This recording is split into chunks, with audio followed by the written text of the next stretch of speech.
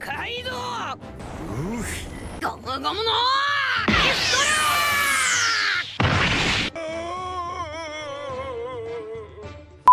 Arkadaşlar bu chapter'de beni incelemeye zorladı ve şöyle bir şey demeliyim. Gerçekten çok kaliteli bir chapter'dı. Luffy's Awakening Ost versiyonu ile okudum. Hani şu yeni müzik vardı ya. Gerçekten tüylerim diken diken oldu. İki sene sonra kız görmüş Sanji gibi kan kaybından ben de ölecektim. O derece benim için. Luffy Kaido'ya neler yaptı öyle. İçinden geçtiği, karnından çıktı, gözünden çıktı, kafasını deldi ve bunların dışında hani bu chapter tek bir dövüş chapter'ı değildi. Bu chapter incelemeyi hak eden bir chapter'dı. Çünkü Oda'nın bize verdiği küçük ama büyük detaylar var bu chapter'de. Bölümü dikkat okuyanlar belki fark da etti. Luffy'nin Gear 5 formu ile ilgili ufaktan küçük küçük bilgiler sundu ama bunlar küçük bilgiler değildi bana sorarsanız. Hani rejenerasyon olsun, saldırıları tenkleme tarzı olsun, yanıp kül olup da bir şey olmaması olsun. Hani bu tarz gerçekten konuşulması gereken çok mühim olaylar var. Luffy'nin çift kişiliği var ki bunu da kesinlikle konuşmalıyız. Ve şöyle diyeyim bu video bittikten sonra da bir canlı yayın açıyorum. Yani video biter bitmez canlı yayında bunları detaylıca sizinle konuşacağım. Ama videoyu izlemelisiniz ondan önce. Farkına varmadığımız birçok olay var. Bunları daha detaylı da konuşacağız.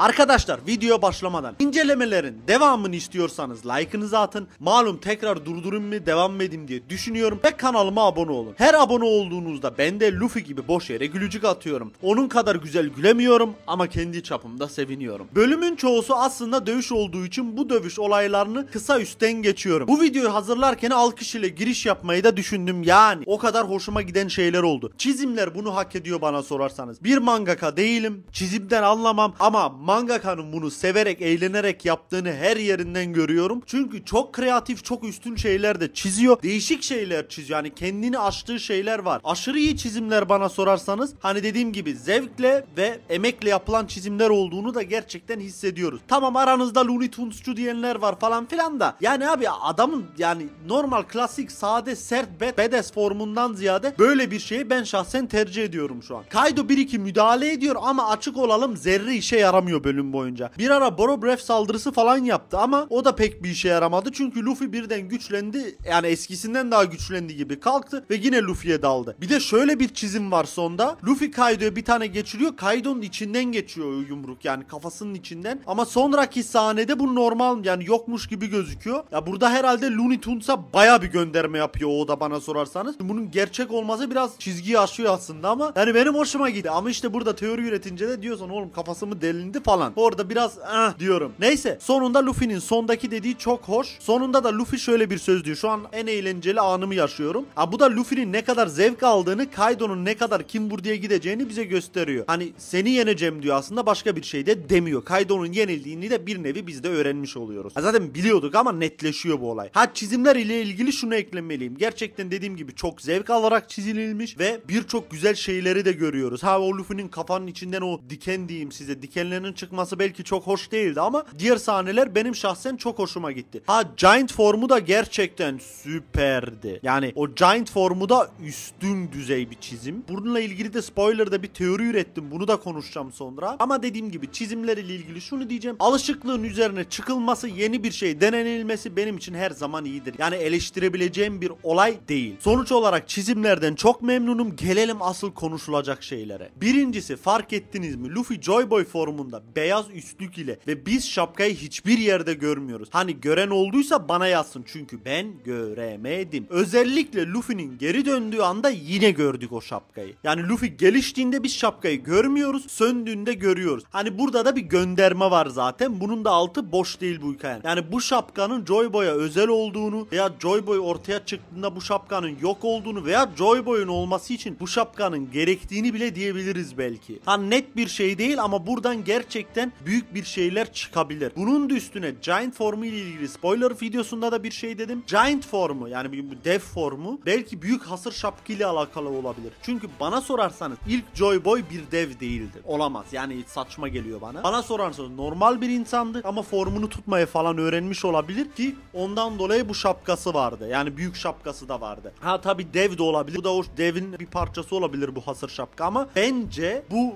Gomu Gomu formu dev ile bir göndermeden ziyade yani eski Joy Boy bir dev değildi. O formu tutabiliyordu gibime geliyor. Çünkü bir dev için bana biraz fazla geliyor hikayenin mantığına ama olabilir. Ha bu da konuşulacak şey. Lu fark ettiyseniz Luffy'nin yenileme gücü aşırı üstün. Yani Luffy birden ölüyor ya da ölüyor dediğim Joy Boy yeniliyor. Luffy kendine gelirken kalp atışları geliyor ve kalp atışı ile kan pompalayabiliyor ve kendini sıfırlıyor, yeniliyor ve yeniden Joy Boy formuna geliyor. Benim burada aklıma gelen bir soru var. Gear 2 formundaki iğnelerden dolayı hayatı kısaltma olayına ne oldu? Büyük ihtimal ki bence abartmış değilim. Hepsi sıfırlandı olabilir bu saatten sonra. Hani hiç olmamış gibi bir şey olabilir gibime geliyor. Çünkü hani çok aşırı üstün bir güç. Ha bir de bu gücün sınırını daha görmedik. Hani bunu da eklemeliyim. Bu Joy Boy Gear 5 mi ne derseniz deyin bu formun bir sınırını görmedik Nika formunun. Hani şöyle bir teori de var. Rumble Ball'ları Chopper Luffy'ye özel yapabilir mi? Yapabilir. Sonuçta Hito Hitonomi meyvesi için özel Rumble Ball'larda Chopper özel. Luffy'ye de özel bir şey yapabilir. Hatta en son güzel bir yorumda da bir şey okudum. Antrenman için. Maalesef antrenman için olacağını zannetmiyorum. Ama mantık olarak bu da senaryonun içinde uygulanabilecek bir şey. Ha o da bu saatten sonra uygular mı? O başka bir konu. Bence uygulamaz. Ama ihtimallerin içinde. Ha bir de e, gelelim Luffy'nin şu özel formu ile ilgili şöyle bir şey demek istiyorum. Fark ettiyseniz Luffy yanıyor ve istediğini yapabiliyor artık ve kendini sıfırlıyor. Yani bu şeytan meyve aslında serinin en güçlü şeytan meyvesi diyebiliriz. Yani şeytan meyveyi istediği gibi kullanabiliyor. Şeytan meyve hem bir paramesi uyandırması yaşıyor hem bir Zoan uyandırması yaşıyor ki bunu Kaido da bize diyor. Hani totala bakınca bu şeytan meyveden güçlü bir şeytan meyvesi yok piyasada. Ha Yami Yami var. Ama bu Wano öncesi bize verilen en güçlü bilgilerden biri hani Wano'da Kaido'nun en güçlü şeytan meyvelerinden birine sahip olmasının da şu an hiçbir etki yaratmamasını da gördüğümüze göre bir Yami Yami Nomi kaldı. O da Yami Yami Nomi'nin özel etkisinden dolayı bence Nika meyvesi, Gomu Gomu meyvesi artık bin tür ismi var ne dersek diyelim belki zorlanır. Ama Joy Boy olduğu için de orada bir sıkıntı göremiyorum ben açıkçası. Ama hani gerçekten şunu demeliyim. Şeytan meyvesi güçlü. Bu yandırma bambaşka bir boy. Yani bu yandırmayı durdurabilecek kimse yok. Ondan dolayı finale doğru çok yaklaşıyoruz. Yani ben araya bir dev arkının, Elbaf arkının gelse de Luffy'nin önemli zaman harcamayacağını düşünüyorum. Çünkü çok üstün yani Luffy'ye kafa tutabilecek kimse yok şu saatten sonra. Daha 3-5 isim var en fazla. O da en fazla ki Luffy formunu çözdüğü anda onlar da etki dışı kalır. Luffy'nin formu demişken de şunu eklemek istiyorum arkadaşlar. Unutmayın Luffy'nin çift kişiliği var artık. Luffy hatta bunu biz Momonosuke ve Yamato'dan duyuyoruz. Momonosuke ne zaman Luffy'nin sesi söndü dediğinde Joy Boy kalkıyor. Yani burada bildiğiniz şu an Luffy'nin artık iki tane karakteri var. Joy Boy hali bir de Luffy hali. Bizim tam çözemediğimiz bu iki karakter birbirinden bağımsız mı? Yani iki karakter mi? Yoksa hani bu forma girdiği için mi özel böyle oluyor? Şimdi biraz abartılı bir örnek diyeyim. Mesela füzyon var Dragon Ball'de. Hep Dragon Ball örneği veriyorum. Bunlar füzyon yaptı mı bambaşka bir karakter oluyor Gotenks. Yani bu önceki füzyon öncesi hali değil. Yeni bir karakter oluyor. Biraz Cavendish. Ha Cavendish örneği daha düzgün. Belki Cavendish tarzı. Hani ya o tarz mı yoksa daha bir ekstrem mi insana sorduruyor. Çünkü gerçekten Luffy'nin sesinin solduğunu diyor bize Momo bu bölüm. Yani Luffy gerçekten hakimiyeti kaybediyor ve yeni bir ses ortaya çıkıyor. Bunun açıklaması bence bize lazım. Hani bunun açıklamasını almadan da büyük saçmalık olur bana sorarsanız. Ama gelecek gibi. Ya dediğim gibi chapter hakkında gerçekten daha çok konuşabiliriz. Ben birazdan bir canlı yayın açacağım size. Bunu biraz daha fazla konuşmak için böyle içimdeki düşünceleri aktarmak için. Ben dediğim gibi bu chapter bir canlı yayını hak ediyor. Biraz sizinle bir saat gibi konuşmak istiyorum. Ve açıkçası bana sorarsanız gerçekten çok üstün kalitede bir chapter. Yani 10 üzeri bir 8-9 veririm. Niye 8-9 veririm? Gerçekten tatmin etti beni. Neyse bu chapter'ı sizinle canlı yayında konuşacağız birazdan. Video like atarsanız kanalıma abone olursanız çok çok sevinirim. Video sonuna dediğim gibi canlı yayını koyuyorum. Ve eğer baya bir sonra izleyecekseniz bu videoyu hoşunuza gidecek iki tane parodi videosu koyuyorum. Arkadaşlar ben yavaştan kaçar. Hoşçakalın. このジョルノ・ジョバーナには言